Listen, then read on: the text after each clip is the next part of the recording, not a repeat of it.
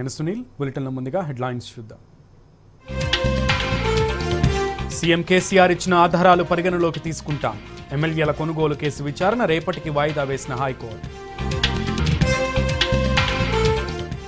మైనారిటీలను ఉన్నత విద్యకు దూరం చేస్తున్న కేంద్రం. మౌలానా ఆజాద్ ఉపకార వేతనాలు రద్దును నిరసిస్తూ ఏఐఎస్ఎఫ్ ఆందోళన. నవజాత శిశువులకు ఆధారిస్తున్న ఏకైక రాష్ట్రం తెలంగాణ. నలభై ఏడు కేంద్రాల్లో విజయవంతంగా అమలు. ఇండియాతో టెస్ట్లో ఎదురెదుతున్న బంగ్లాదేశ్ తొలి ఇన్నింగ్స్లో ఎనిమిది వికెట్ల నష్టానికి నూట ఆరు పరుగులు. భారీ నష్టాల్లో ముగిసిన స్టాక్ మార్కెట్లు. ఎనిమిది వందల డెబ్బై తొమ్మిది పాయింట్లు కోల్పోయిన సెన్సెక్స్.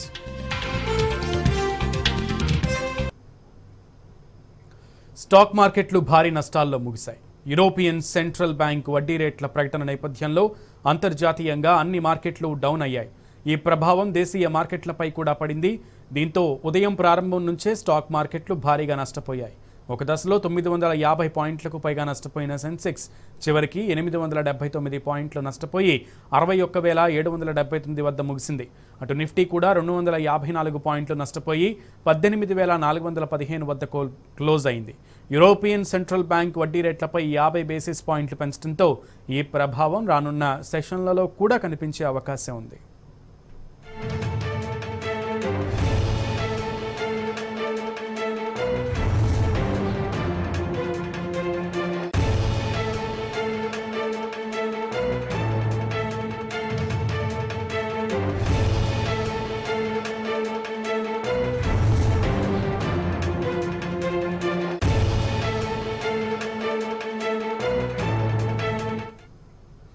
రైట్ మార్కెట్లో భారీ నష్టాలకు సంబంధించి స్టాక్ మార్కెట్ అనలిస్ట్ వేణుగోపాల్ గారు ఆయన స్పందన తెలుసుకుందాం. వేణుగోపాల్ గారు మార్కెట్ భారీ నష్టాలకు సంబంధించి పూర్తి డీటెయిల్స్ ఏంటి? కారణం ఏంటంటారు? సెంట్రల్ బ్యాంక్ నిర్ణయాలేనంటారా అంటారా? అంటే ముఖ్యంగా ఏంటంటే కంటిన్యూస్గా వెరీ షార్ట్ టైమ్లో అంటే one one and half year టైంలోనే almost zero to point two five ఉన్న interest rates US interest rates అక్కడి నుంచి చాలా షార్ప్గా నెంబర్ ఆఫ్ టైమ్స్ పెంచుకుంటూ వచ్చి నిన్నటి federal reserve US federal reserve US central bank decision కోసం వెయిట్ చేసిన మార్కెట్. మళ్ళీ నిన్న కూడా ఫిఫ్టీ బేస్ పాయింట్స్ పెంచుతూ వాళ్ళు డెసిషన్ తీసుకోవడం ఒక విషయం అయితే రెండోది వాళ్ళు ఇంకొక సెవెంటీ ఫైవ్ బేస్ పాయింట్స్ కూడా by two thousand twenty three end కల్లా వాళ్ళ interest rate five point one five five point two five around ఆ ప్రాంతం దాకా తీసుకెళ్తామని చెప్పి చెప్పటం.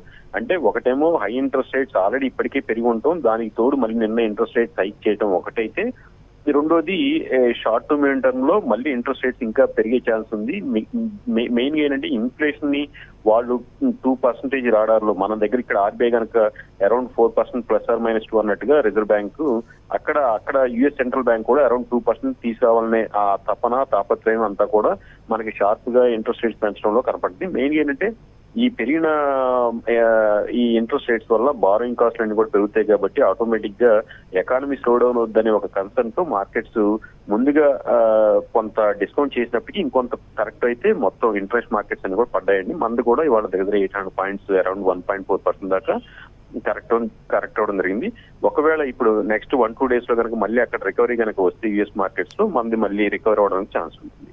సో మెయిన్గా అయితే ఇంట్రెస్ట్ రేట్స్ పెరిగిన నేపథ్యంలోనే ఇవాళ మార్కెట్స్ కొంత ఒడిదుడుకులు లోన్ అవడం ఎస్పెషల్లీ వీక్ అవడం జరిగింది.